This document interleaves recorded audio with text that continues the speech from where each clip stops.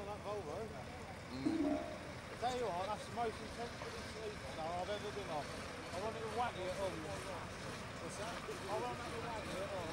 Honestly, This? yeah.